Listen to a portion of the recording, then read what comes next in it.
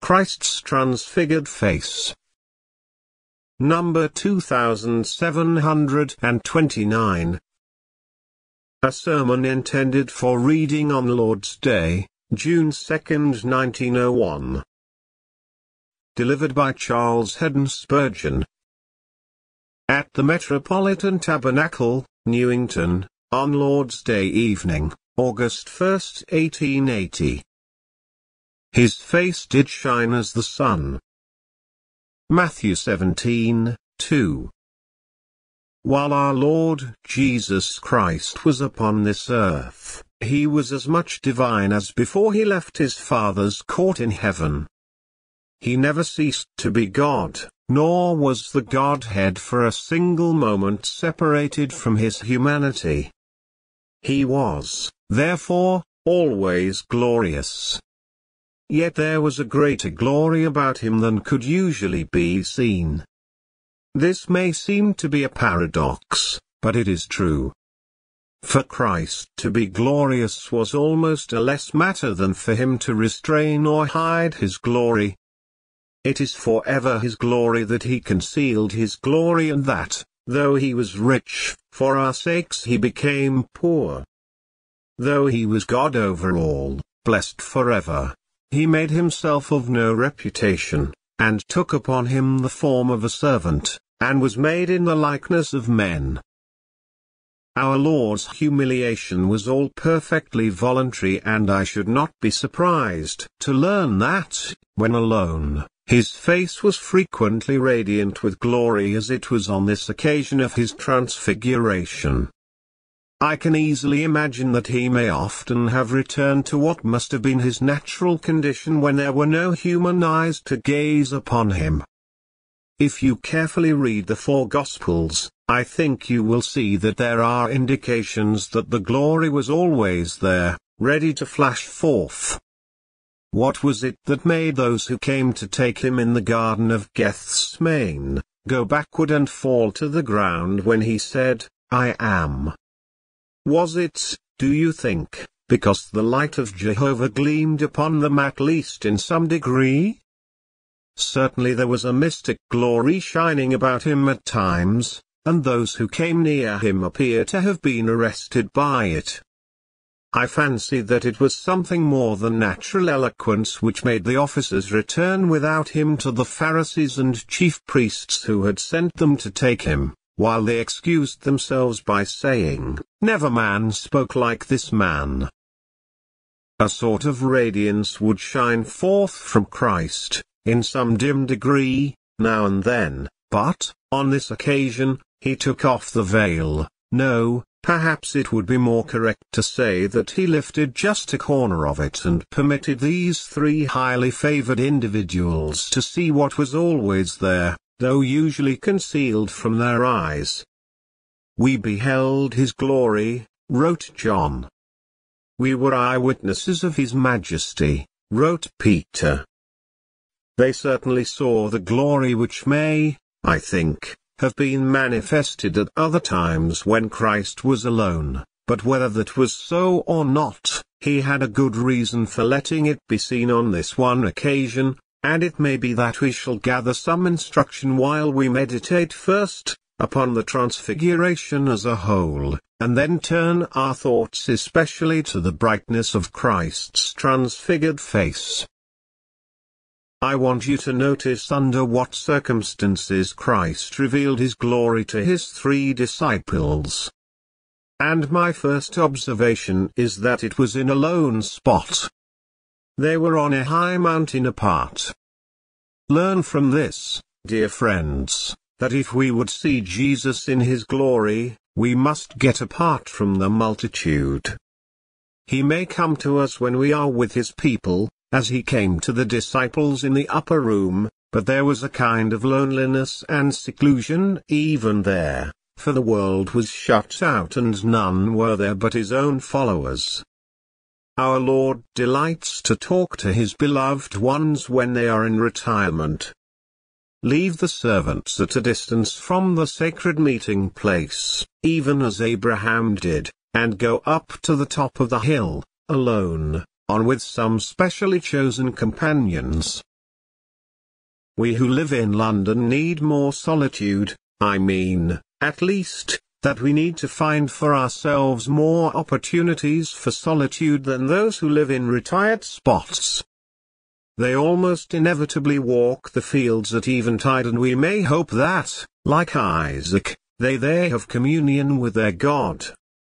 But if we have not any fields to walk in, we must somehow manage to get alone. The best visits from Christ are like the best visits we have from those we love, not in the busy market, or in the crowded street, but when we are alone with them. Our blessed Master also, on this occasion, revealed his glory when he was in prayer. Luke says that, as he prayed, the fashion of his countenance was altered, and his raiment was white and glistening. Prayer is the key of all mysteries. When Christ would, as it were, unlock himself, the casket, so as to let his disciples see his inner glory, he prayed, and this should teach us that if we would see Christ's glory, we also must pray. And if we would glow with the glory of Christ, we must be much in prayer. These are practical truths of God, much more practical than many imagine. We are far too often like Martha, cumbered about much serving. We need to be more like Mary, sitting at the feet of Jesus, looking up into his dear face and listening to his gracious words. The active life will have little power in it if it is not accompanied by much of the contemplative and the prayerful. There must be retirement for private prayer if there is to be true growth in grace. When our Lord's disciples did see his glory, it was revealed in an amazing light. And this may teach us how truly divine he is, for God is light, and in him is no darkness at all. It may also show us how he has come to us as the light of God, not in the blackness of darkness, to overwhelm us in despair and make us sit like the Egyptians during the darkness which might be felt, but Christ is the true light, which lights every man that comes into the world. And when we see him, we shall perceive this. The glory which the disciples saw was a light that was perceptible by the eyes and there is about the glory of Jesus a moral, mental, spiritual light which we shall behold when we see him as he is. This will be the main thing that we shall see when we are favored with a sight of him. Something is to also be learned from the persons to whom our Lord revealed his glory, they were very few. There were only three of them and I venture to say that among the saints of God in all ages, there have not been many who have seen our Lord Jesus Christ to the fullest.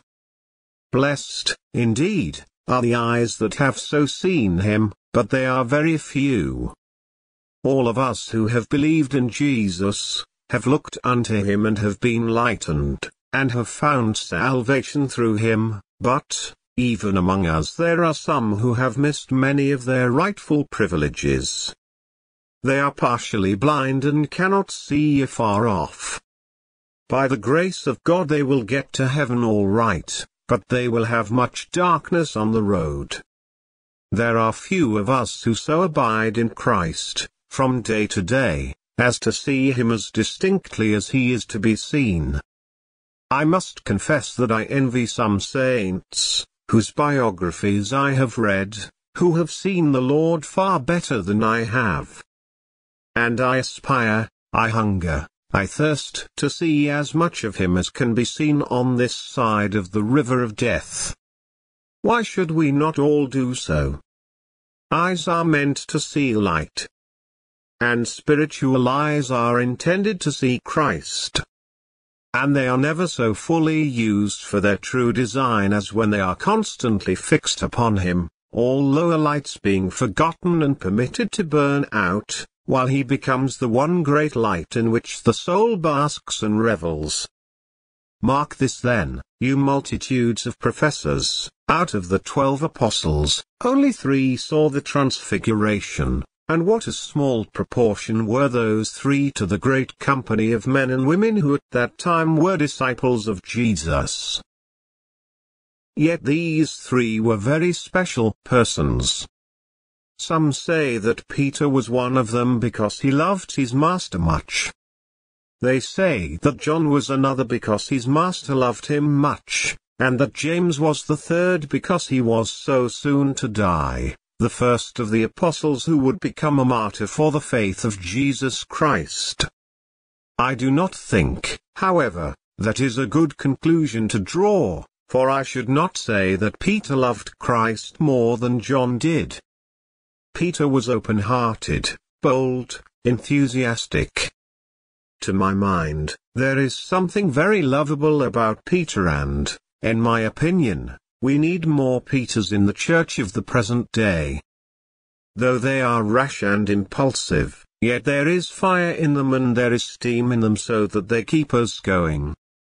As for John, you can all see that it was well that the man whose head was to lie in the bosom of Christ, who was so affectionately to care for the Master's mother and who was to see his Lord in the isle that is called Patmos, should behold him once in his glory, that he might recognize him when he again appeared to him. And as for James, we can easily believe that there were special traits of beauty about his character that made him to be one of those three. His early martyr death and the fact that he was the brother of John, certainly lift him up to a very high position among the apostles of Christ. There were three, I suppose, in order that there might not be any question concerning their testimony to the Transfiguration. Two or three witnesses were sufficient to establish a case in a court of law. A thing that cannot be proved by three honest men as witnesses, probably cannot be proved by thirty, and if three men join to testify to a lie, probably thirty will not speak the truth. These three apostles were specially chosen to see Christ in his glory because they were afterwards to behold him in his greatest agony. I cannot imagine what must have been their feelings when they first saw him brighter than the sun, and then beheld him red as the rose with bloody sweat. I know not which sight a man might more desire, to see Christ robed in light, and brighter than the sun, or to see him crimsoned with his own blood, the very essence of his being poured out in agony for us. Oh, said Rutherford, but was he not bonny when he wore the red shirt of his own blood for you and me? Oh, the loveliness of an agonizing Saviour. I cannot compare him in these two so strangely differing experiences, one would have needed to see him in both to understand either of them. These apostles saw their Lord in his glory and also in his agony. And perhaps somebody here is saying, Oh, I wish I could be favored with those two sights. I wish I could, in vision, if not in actual fact, see the Lord Jesus Christ. Dear friend, do not ask for anything of the kind. Be content to see him by faith for that is the only sight that you really need. Remember, also, that although Peter saw Christ thus, he yet lived to deny him. And although James and John saw him, they also forsook him and fled with the rest of the apostles. Well did Peter, therefore, set the revelation of Christ in the Scriptures even above the revelation on the Mount of Transfiguration when he wrote, for we have not followed cunningly devised fables, when we made known unto you the power and coming of our Lord Jesus Christ, but were eyewitnesses of his majesty.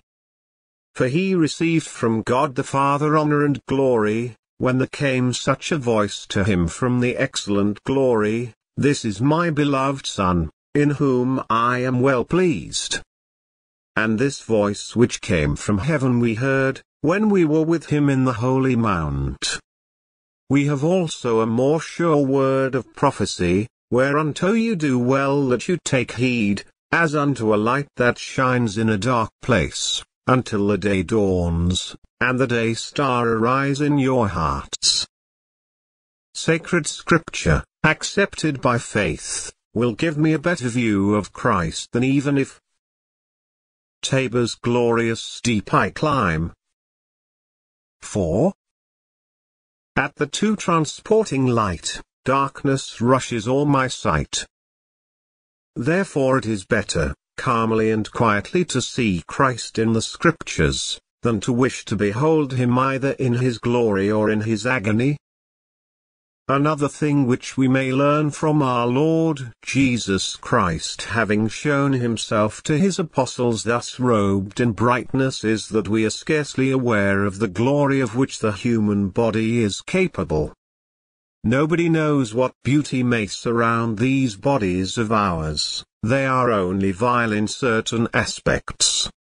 You know what a difference there is in the appearance of a man when his face is lighted up, as we say, or when he is sitting still and a photographer is taking his portrait.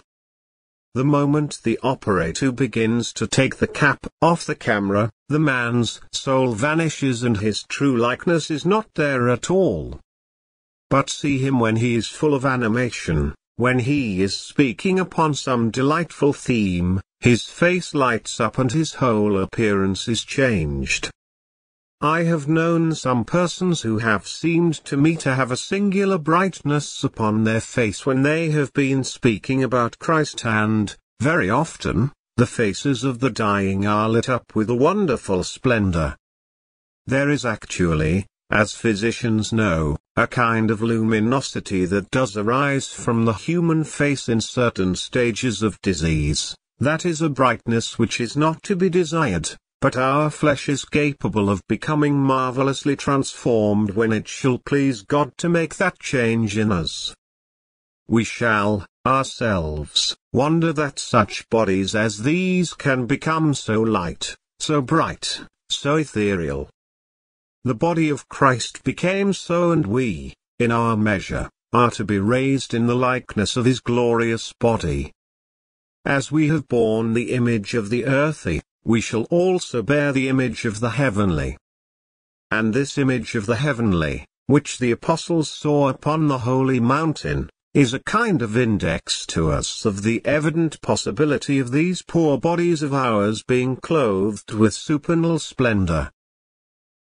Now I want to talk to you, though only for a few minutes, about Christ's transfigured face, concerning which our text says, his face did shine as the sun. 1 First, from this truth of God we learn that Jesus Christ is the same in his glory as he was before. He was transfigured, but he was not transformed into another person. Matthew says that his face did shine as the sun. Then, his face was the same as it was before. It was his face that the apostles saw. All the familiar features of his countenance were there, though illumined with supernatural radiance. So, whatever glory may come to Christ in the future it will be the same dear lineaments that will be lit up with heavenly brightness. And as there was no change of feature, so there was no change of nature. The transfigured Christ was the same Saviour whom the apostles had known before and I like to think that, though now he reigns exalted high, he is, so far as his identity and nature are concerned, the same as he was when here below. Nothing has changed in his heart, or in his purposes, or in his designs towards his people.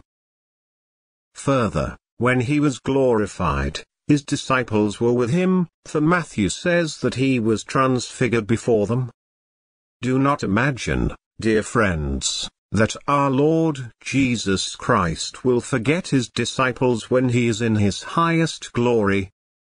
No, even then they will be with him, for this is part of his great intercessory prayer for them, Father, I will that they also, whom you have given me, be with me where I am, that they may behold my glory. Circumstances change some people, they rise in the world and then they do not know their poor friends and relations.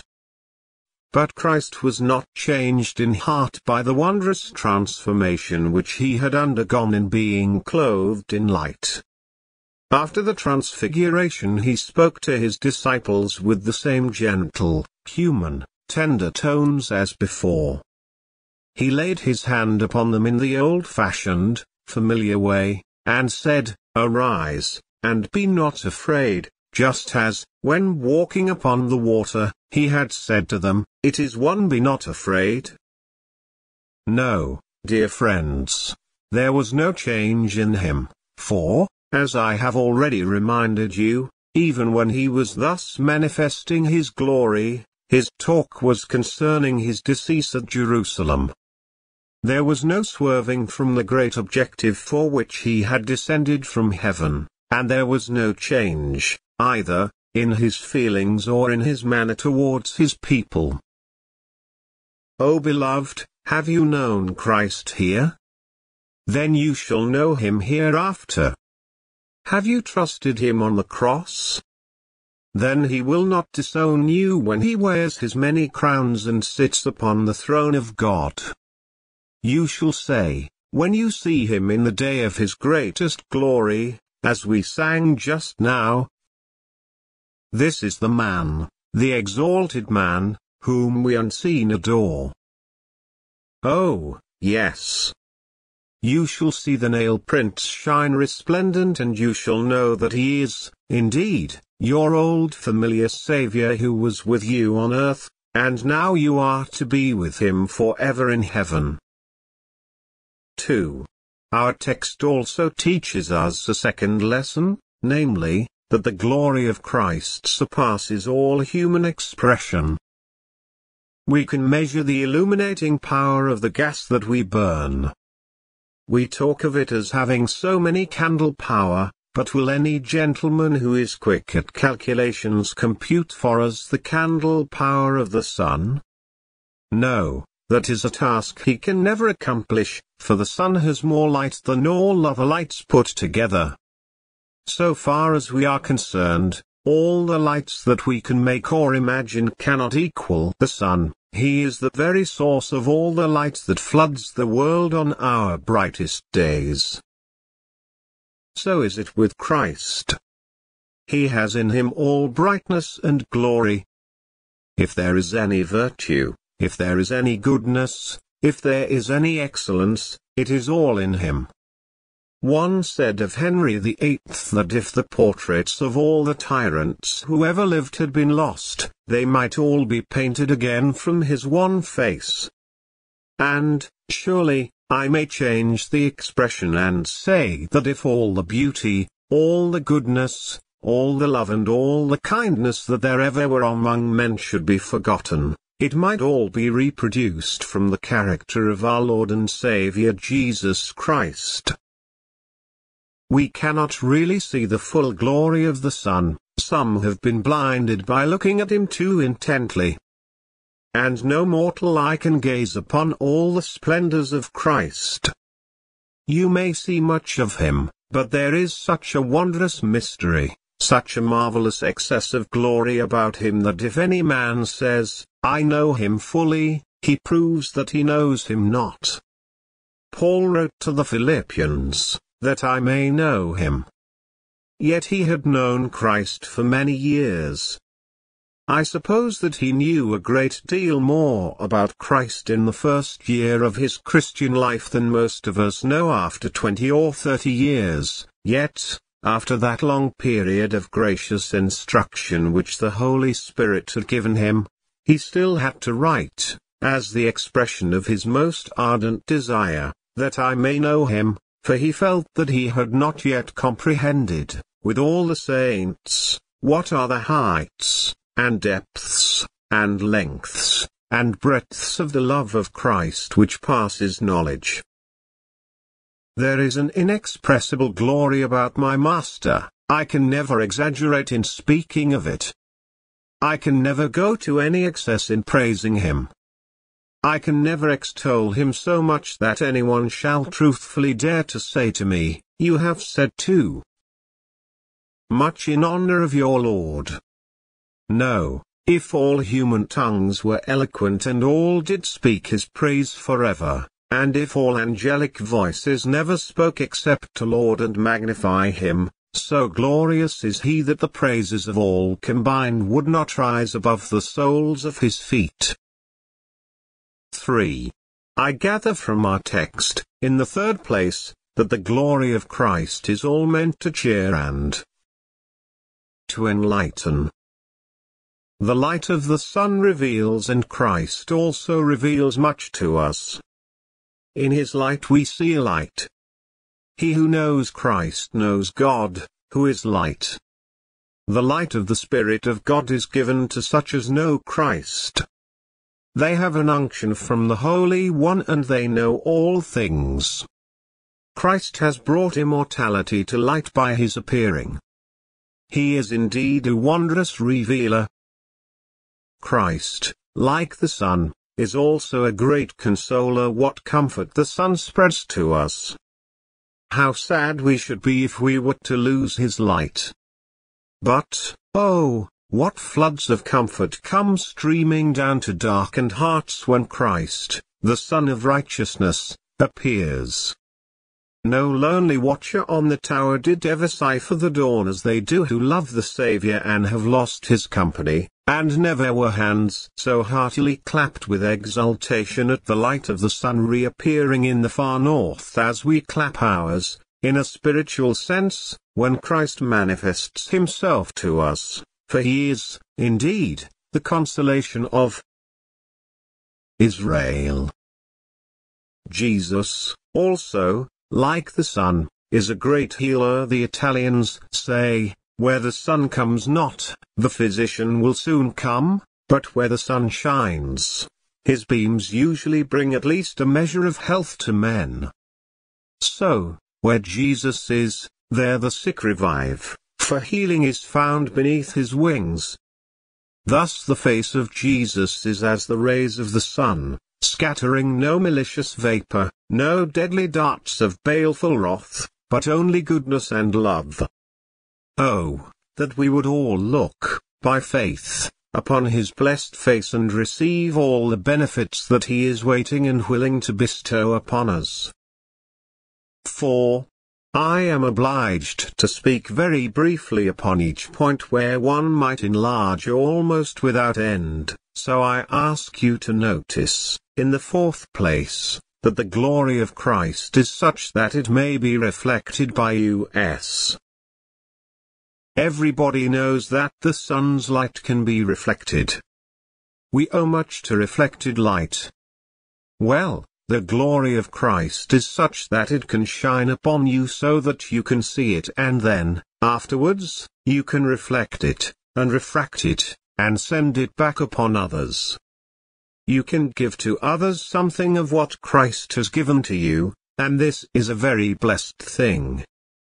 For God, who commanded the light to shine out of darkness, has shined in our hearts, to give the light of the knowledge of the glory of God in the face of Jesus Christ, in order that we may let that light shine out upon others. John says, We beheld his glory, the glory as of the only begotten of the Father, full of grace and truth. Well, now you can have grace and truth and you can so live that you shall be the means of bringing grace to others, and you can so display the truth of God that some, who have not yet looked to Jesus, can see something of Jesus reflected in you. Some Christians are very poor reflectors, but when we are as we ought to be, we shall be like that invention you see sometimes for underground rooms where they try to send some of the daylight down by means of a reflector. The poor people of London are, many of them, both literally and spiritually, underground, very little light ever gets to them, so try to be reflectors, to shed the light upon them. Reflectors are not of much use when they get dirty. Unless they are cleaned, they cannot be of much service, and I know some Christians who need a good shower to cleanse them. There are some professors who do not reflect much credit upon their profession, I am sorry to say, and they generally blame the minister when this is the case. I sometimes wish that some of you Christians would be more careful as to what you do, because the blame for your inconsistencies often falls upon me. If I could do you any good by bearing it, I would not mind, but it is not so, you bring discredit upon the name of one who wishes to live to the Lord in the best way he can, and who has quite enough faults of his own without having all those of other people unjustly laid at his door. Ah, say the fault finders, that is one of Spurgeon's people. Of course they do. And I am blamed for your wrongdoing, although I am not in the least responsible for it. If the sheep go astray because the shepherd has not done his best to keep them from wandering, blame him. But if he has done all he could and the sheep then stray, so that the dog has to go after them, do not say that the shepherd ought to have the dog set on him. Oh, beloved, try to reflect the glory of God so that people shall ask, What makes that man's countenance so bright? And the answer shall be, He has set his face so close to the well-beloved's face that he reflects the light that shines from it. 5. Lastly, for our time fails us, we learn that this glory of Christ will soon be more fully displayed. In heaven, the glorified face of Jesus is always to be seen, for we are expressly told that, his servants shall serve him, and they shall see his face. Their eyes will be specially strengthened so that they can gaze upon it without injury. O long expected day, begin, when we, too, shall be caught up to see that wondrous countenance. Do not your desires often make you feel like a bird that wants to fly, but cannot, because it is held down by a chain? Then you sing, my heart is with him on his throne. And ill can brook delay. Each moment listening for the voice. Rise up, and come away. They who behold Christ in heaven, even from the outermost rank of the saints, are to be envied above all earthly kings and princes. One said to an old saint, You cannot see God's face and live. Then, he replied, Let me see God's face and die. And I will be glad enough to die a hundred deaths if I may but see Christ. One hour with Christ in glory will more than make up for a weary lifetime of service, or suffering, or poverty, or persecution. I have often tried to imagine what the first five minutes with Jesus Christ in heaven will be but I have sought in vain to picture the novelty and freshness of that wondrous time when the soul, filled with amazement, will exclaim, The half has never been told me. The Queen of Sheba was astonished when she saw all the glory of King Solomon, but he was a mere nobody compared with our Lord Jesus Christ. Oh, what will it be to see him? Now I close with this thought, the glorified face of Jesus is also to be revealed here on earth. In a short time, according to his promise, he will come. I do not know that he is coming tomorrow, but I do not know that he is not coming then. His return may be a thousand years hence, perhaps, fifty thousand years hence, or it may be before that clock strikes again. But, Whenever he comes, he will fulfill his own words. Surely I come quickly. One thing is certain, he will come again.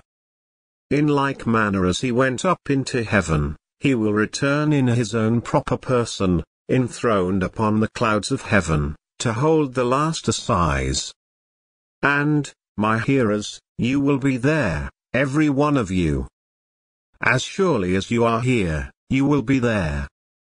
When the earth rocks and the sky shakes, you will be there.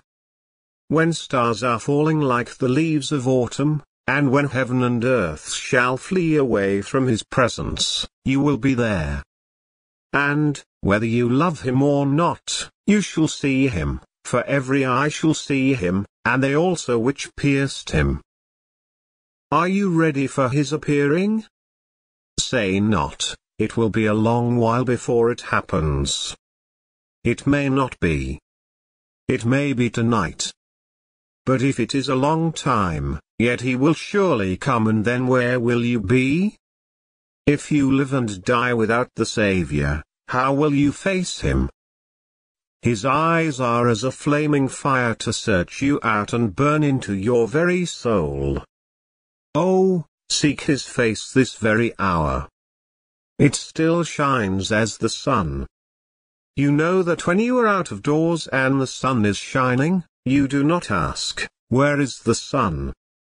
Why, my dear man, you cannot help finding out where he is. Oh, but how can I look at the sun? My dear man, nobody needs to ask such a question as that. You just open your eyes and look. It is the simplest thing in the world to look.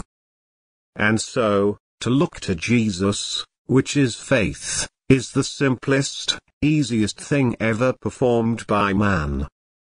And that is why it is so difficult to many people. That is another paradox. If it were really difficult, men would do it, but because it is so easy, they say they cannot.